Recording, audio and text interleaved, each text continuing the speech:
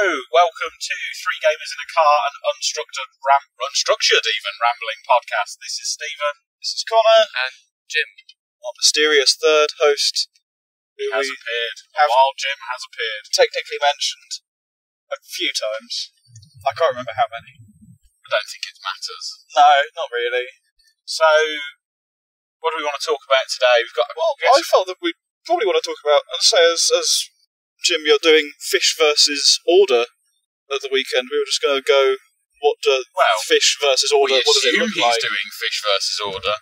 So, for reference, if anyone's not aware of it, there's a Coin Wars like invitational thing going on. So basically, in Guild Ball at the moment, some of the pundits have organised this program where some coins travel the country, and in May 2019, March 2019, Around that time. some some sort of time, there's going to be anyone who is holding a coin on a set date will get an invitational to this large tournament in the Midlands.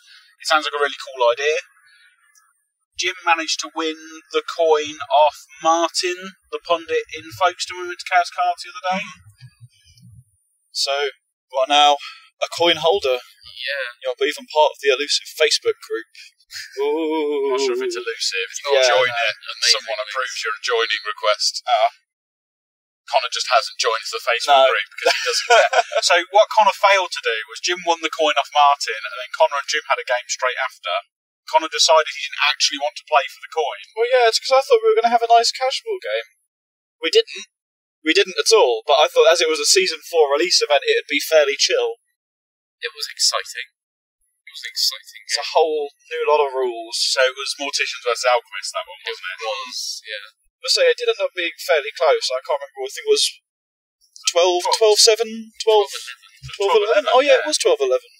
Yeah, so it was two goals, um, two goals a takeout and flask, or was it a goal?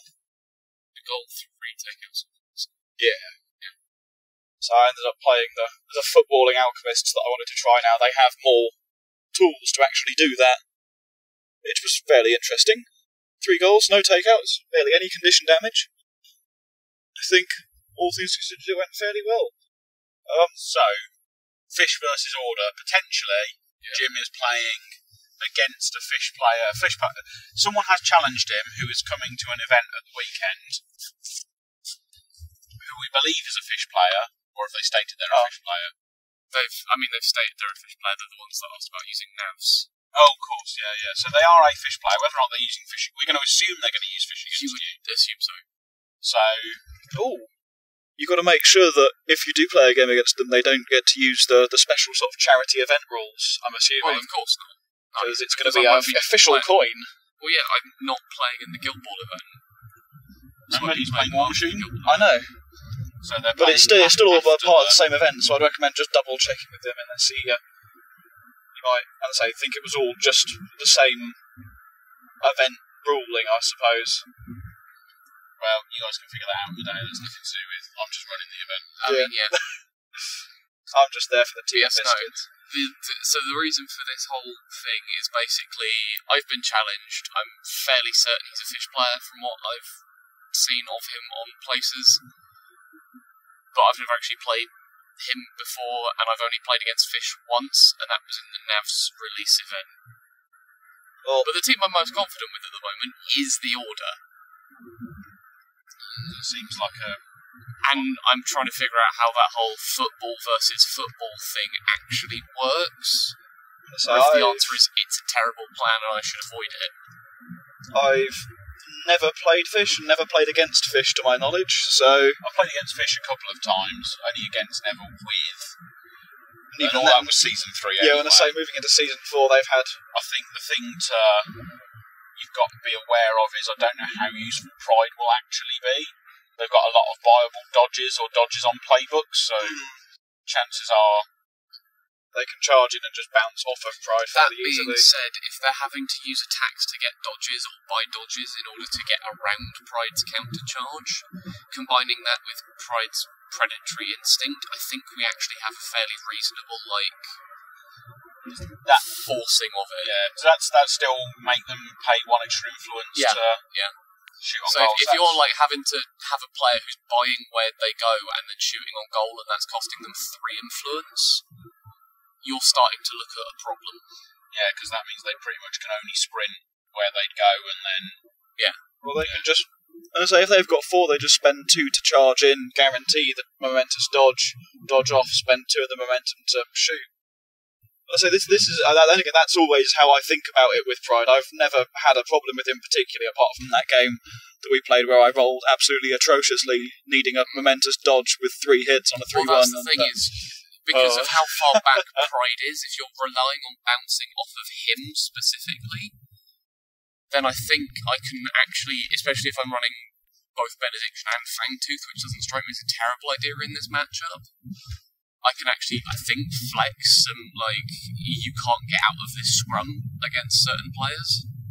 I think as well against Benediction and Fangtooth with Pride being there, you're not going to be able to charge, bounce off someone and shoot because you're going to. Well, you will. Well, no, you won't because you'll have four armor on Benediction, And you'll probably end up defensive stancing and then using poised anyway. and then you'll have resilience on Fangtooth. Obviously, this is you know assuming these things haven't been triggered earlier in the turn, and then Pride costs two for them to shoot on the goal. Yeah. I think fish are slippery enough that they don't have to worry too much about actually just the uh, being in the scrum though. So that's the one thing that I'm sort of thinking about in that matchup is the case if you did want to try and bog them down, how effective would it actually be? Again, I, I'm assuming they've got lots of dodges, so they can just sort of go and and leave. But then again, I've never played against them in an actual match. I've only looked at their cards, so So I think potentially the key parts of it are Jim should be able to beat them down with people like Benny and Fangtooth. Yeah. I think depending on who else forms part of that, I think I think the correct lineup is normally going to be Benny, Fangtooth, Harry, and Spigot. Generally speaking, I think Grace is going to struggle in certain places, and her heal is less useful. Yep. Um, and I feel that Mist, while like having him is very useful at getting the ball, I think he maybe doesn't add as much to the lineup as Harry does if I'm going for a two-two sort of finish.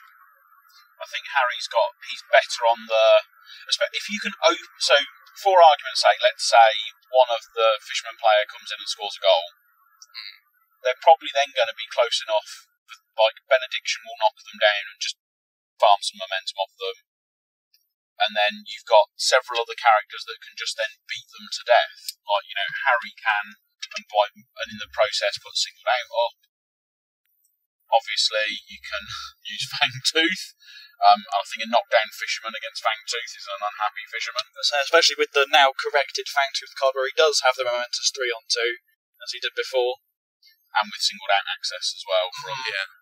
yeah having tack seven plus potentially two gang ups, so tack nine with Fangtooth playbook on a, a knocked down fisherman model, even if they're a four zero because they were a five zero, that's still pretty nasty. Yeah. I mean, even things like having Pride put um, how's it called? the Anatomical anatomical precision thing on Fangtooth, and then having Fangtooth just go ham on Kraken for a couple of taps. Fe- Feral Instincts. Fairland. I've That's just, just got the card up, so. I say it's it's definitely one of those things that you can try if you do essentially have Brisket and Spigot sort of be dedicated goal scoring at least until you've got those two goals, or when there's an opportunity to, and then have the rest of the list be more fighty. Um, of course, based on your opponent's lineup as well, because with the changes to Kraken and well, I suppose the changes to Jack actually have made him worse in uh, in a scrum because he's lost lost tough hide. I think he used to have. Um, and again, now I think I'd say from what I saw of some brief fisherman discussions on the Gubs Facebook page, there was sort of saying actually Jack is no longer a super strong model. He's now personal preference. Yeah, he doesn't have get over here soul anymore, does he? You know, to say, uh, yeah, that's over on Angel now. Angel's got get over I his think, soul I think Angel is actually a legitimate threat to worry about because she's a very good snapshot turret yeah. after she scores a goal. No, I don't disagree with that. I think if she puts herself in a position to be a snapshot turret, she might have some issues. She probably just dies. yeah. As Plus, she's not. You can get. She's got dodges on playbook, but she's not actually got any viable dodges on her. No, but she can go up to defense six, so it's a little bit. I suppose there's depends where your knockdowns are on your models, doesn't it? So I know Benny's got some, but I don't know how low. I'm not sure if they're two or three. I know again Harry ha- used to have some. Um, Benediction's knockdown isn't until four. Benny's is oh wow, okay. Oh, he's got lots of pushes there. Harry's is on three attack three, Fang tooths. and Fangtooth is Attack five. Say tax three. attack five. correct And I say single, his singled out is on two though, so he can easily sort of skew it in his favour. Which again, I think is actually the importance of again, if you want to field Harry and be more of sort of a two-two style of team, um, is having that singled out just to make everything that much more uh, more consistent. No, I think I think because of the team you end up running there, the fact you've got Fangtooth and Benny and Spigot who are all two armor and Fish don't have particularly high tax scores on the majority of their players. That's where they start struggling. And I think what you can get Benny up to armor four. Yeah. he can make someone immune to knockdown. I'm not sure how relevant that is against Quite relevant. non-Kraken, non. I mean, Corsair. yes, if they're not playing Kraken or Corsair or Jack, there might be some argument to not do it. But I think on certain turns there is definitely an argument to. Just remember that Siren, uh, veteran Siren now has uh, reworked Dreadgaze, which does a push and a knockdown as a character play. So they do have a little bit more access to knockdowns than they had before, maybe? I, I don't really know. I I think- didn't play Vision Season 3, didn't play I- Vision Season I think the thing to be mindful of is you have no real way of killing the ball on a model in order. Not unless you're talking about a non-shark player, well, a non-captain, sorry, so someone who's limited to four influence, coming in, punching Fangtooth, triggering resilience, punching Fangtooth, taking the ball, then taking a shot on the goal, but at that point they're probably both engaged by Fangtooth and got the line in the way, so and having to pay two to take the shot, so it's quite a an expensive. That said, Shark is very good at having six influence and taking the ball and doing horrible things with it. That But said, if you're Shark, having to spend the first attack to pop resilience, and Fangtooth is never not going to be in some sort of scrum, especially if Benediction and Harry are involved. So the ability to like push him away or knock down push him, so that he's then having to spend to do things like his uh, dodge, are starting to become more of an issue. I think as well that's three two-inch melee models. Uh, yeah. Yeah, so and I suppose you can slow the fish down a little bit. Has he still got Molotov on Harry? Yes. yes, he does. but he doesn't have goad. That the thing he lost? Which is a shame actually, because that would have been quite a nice tech piece. Excuse me, Shark. Can you uh, come over here? I mean, that's the thing about Shark. If Shark scores a goal, you can just delete him because he isn't that difficult to kill. I don't think in that team, just because of the amount of damage you can pull off. Worst comes to it, Spigot can come charging in as well, and Spigot's pretty good against knockdown models. Just considering the whole two inch melee thing, though, um, just looking through the roster, Fish do have nine two inch melee players, albeit two of them are the captains, and one of them is Tentacles, so I'm not sure how favourable Tentacles will be, but it's not going to be difficult for them to just get a two inch melee team, meaning that your two inch melee benefits won't be quite as uh, Or, or stated. thinking crowding out. Yeah, no, the, the benefit of running that many two inch melees isn't isn't the you can stay out of my I can stay out of your melee range. The benefit there is just the I've created this huge bubble where if you try and tag one of these players, you either have to be massively off to one side or you're getting crowded out by multiple people. So I don't think that'll be that much of an issue. So especially if they have a lot of two inch melee, they can just counter it with having the crowding up, no, crowding up, ganging up bonus, and also, I suppose unless you put them in like a weird triangle formation, it's not going to be that difficult to just be off to one side and not have to worry about it.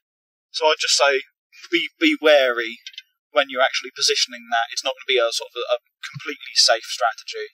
So I think the probably the key, assuming that it, there's no Corsair and Kraken, so you haven't got to worry too much about takeout related shenanigans. I think being able to get brisket and so being able to leverage brisket's legendary Yeah. to take an important goal when you need to, and get Spigot into a place where he can be a snapshot turret is probably quite key to the to the game. Oh, no doubt. Given Spigot's the only four eight in the guild, Is so he's the only pick for Yeah. in the guild, but that's which is quite good. But just so Brisket lost her minus one TN on goals, didn't she? no. no, she kept all. Oh, She okay. kept that. So actually, she's probably quite a good snapshot turret as It's well. restricted to activation. Oh, okay. Um, just, uh, I think she lost Yay! is the uh, goal of the month, Which was which was extra. Screamers. Yeah, Yeah, Screamers on every doubles, yeah. Okay. So I think it's just going to be a case of depends a lot on the actual lineups. To be honest, I think the fish probably have the advantage. Question mark. I think a lot of it may actually come down to who's kicking, who's receiving Quite as possible. well. That, that was sort of what I was saying earlier about it when me and were discussing it was um, if I have to kick the ball, then the plan has to be 2 2. Unless I can somehow manage to get the ball off of the fish on turn 1. But then if you're receiving, Which I think at that point I'm basically leveraging um, Spigot's kick-off pressure of him already being up there, so that now he's basically threatening anyone who comes within 14 of my deployment line. Like if you're getting the ball and moving up anywhere, then he can threaten the charge and take the ball. It might be worthwhile if you are kicking and you've got sort of got that concern. It might be worthwhile kicking off with Fangtooth just so you have sort of resilient two-inch melee model who they have to worry about actually getting around. I know if it's Shark, he's still got the two at 22-inch sort of threat. Um, see, I, I, I think as well that's the issue with if you receive because Shark can still come in, take the ball, and score turn one. Because if he kicks off, he's got the speed to just be able to charge whoever of your models comes and ga- takes the ball, unless you can kick the ball well away. Which is is sort of probably the option there because um, obviously Brisket and um, Spigot have both got eight inch kicks, which I suppose is also the argument to potentially run Mist in there as well, is that you can move the ball away from where the fish player is expecting it to be in any given turn. Yeah. Yeah, it will definitely be an interesting matchup. So all, all this talk about Shark, what will happen now is they'll bring Corsair. I mean, if Cool. he's bringing Corsair, he's he's trying to form a scrum, and forming a scrum against Benny, Harry, and Fangtooth is not a great idea. Well, I say with the new Kraken though, it means that you're I'm uh, a suitable with who? disadvantage. Kraken, Kraken. Kraken, yeah. Um, then I say with, Sorry. with the new Kraken, he he's let's say he gravity wells you in, so your positioning is is all over the place. Then just because he forces you to be a bit all over the place. Um, you can't attack anyone apart from him. Just just to check, Gravity Well is your activation, isn't it? It's your Yes. advance. Yeah. It's only advances. So it's not if he comes and engages you, he can't pull people away. No. But it's the case he's got the protective instinct, or Yeah. so, so it's it's the case you have to attack him, and he's got tough hide as well. He's only a three-one. He's only got twenty health boxes. I say only. only with tough hide. Yeah. But remembering that Benny doesn't really kick out much damage, he's all about pushing and knocking it down. It's going to be sort of having to knock him down and then relying on Fangtooth and Spigot really to come in and actually deal the damage. Are there any interesting character ways you can push through Fangtooth? Uh, you'd mean through benediction. That's what I meant, yeah, sorry. Um, really, honestly, options on that are fairly limited. Um, Like, you can, you push Route 1 through it? no, because the target's an enemy model. Well, yeah, but Yeah. he's... Benny has to, his have to target for enemy model. That's Oh, the- dude, oh, the, oh, okay. Oh, okay. So, but Grace's one is So uh, Grace's one is she can channel her own character plays through anyone within six inches. So, you could... So the Lion can push Anatomical through Benny. Yeah. Brisket can I'm open. Rubeni, which is sometimes relevant, because obviously yeah. Spigot's got a six an eight inch kick rather than six inch. Yeah. Um, yeah, you've got um, Feral Instinct. You've got. mostly. of it, isn't it? Um, yeah. That's not great, no, not really. But I suppose it is only like a solid so it's Yeah, I mean, it, it's just sort of there. So it's helpful for sort of slingshotting um, anatomical precision over from your goalkeeper through into the actual scrum. Yeah, I mean that's actually very relevant. Is that it means that 'cause the standard range of feral instinct is four inches, and Benny just has to have the caster within ten or six rather. So it's up to ten plus a me or ten plus a medium base, which is significant. Certainly. yeah on on the Guild pitch, yeah, definitely. Although that said, how much armor do fish have? Uh, there's a lot of characters, at least one. Yeah. I mean, if you can drop Kraken to a 3-0 potentially, and then get So, singled out on People like Sakana, both the captains have it. Um, Okay, there's more people. One armor. well, most of them are still fairly. screwed. Yeah, so I'll just count up how many people actually have one armor. But yeah, I think that's that's the big thing is basically if you can leverage um, There are seven, seven options, both the captains um, and just tentacles. So I'm not counting the navigators players in that calculation though, because they're they're not out yet. So yeah, no, but if you can if you can push enough damage through Kraken to actually remove him, like which is going to be tough, but at the same time it's not absurd. Yeah. and What's and what's his speed like? Can he actually get back on the bomber? Do you, how effectively can he re-engage after you take him out? I guess is one way. so is this for a Kraken? Sorry, Yeah, yeah. uh, he's a five-seven move. Really? So oh, he's quite nippy then. yeah, I'm gonna say he's a Two inch melee. speedy boy apparently. Yeah, two inch melee. Has he got? Uh, what was he got? Was it drag that he gained in season four? I think he had drag He- before he lost. Released the Kraken, but he I think he had drag before. He did have but he, he lost release the hmm. So has he got? So he's got a ranged character play. Yeah, So he can get back in there if you take him out. Then he's not a. it's not a complete sort of dead weight there. It'll take him just a little bit.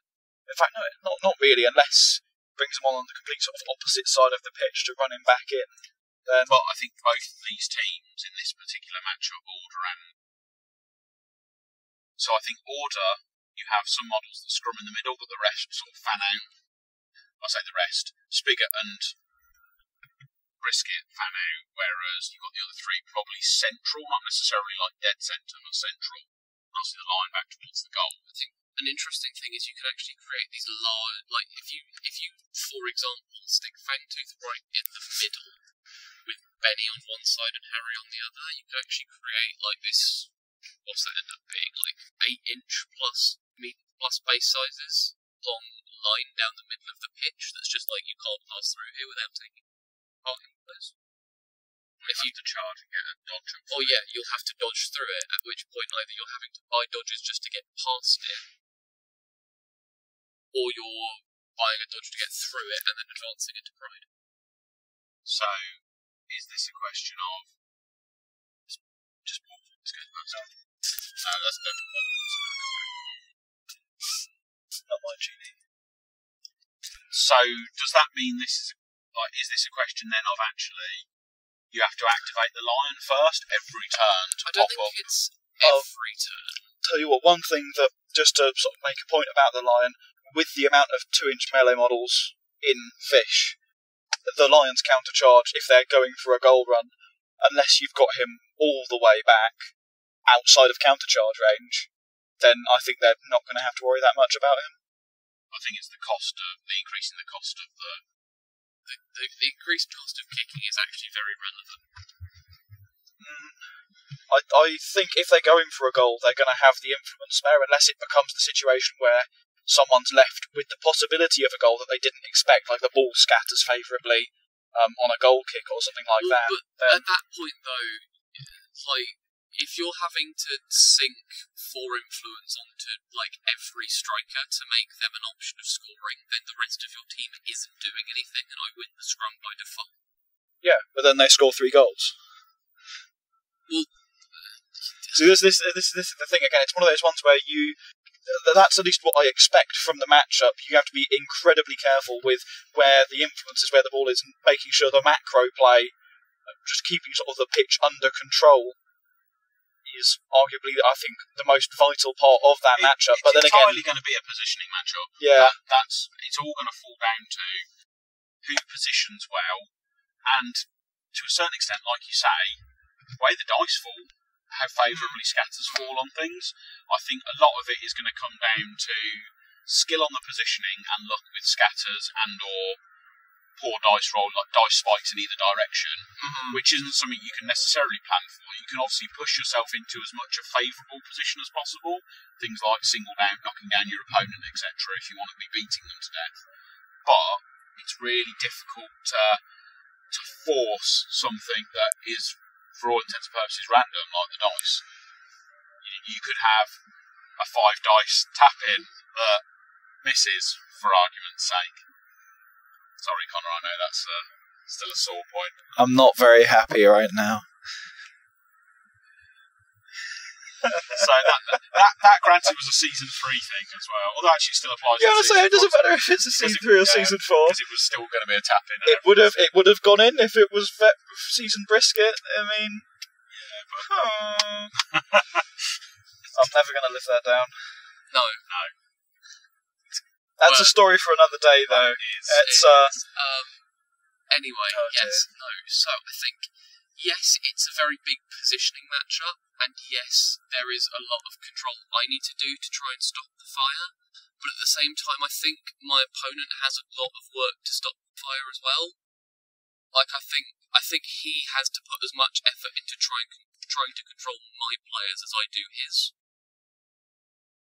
Yeah, And the order offers a lot of jank which I think is where like the potential of the two two victory comes in is just the sheer amount of it that is present. I think as well, if your opponent has a model that hasn't activated yet, or has activated, sorry, so for all intents and purposes can't go anywhere, but he thinks he's out of threat range, and suddenly you use Brisket's legendary, actually, you know what, I'm going to score with Brisket this turn, and I'm also going to push Fangtooth six inches closer to that model.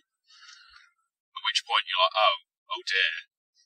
Or even like, you know, if you're hanging around near the edge of the pitch and like, I'm just going to push Benediction towards that model, at which point Benediction goes, yeah, I'll escort you off the pitch, please.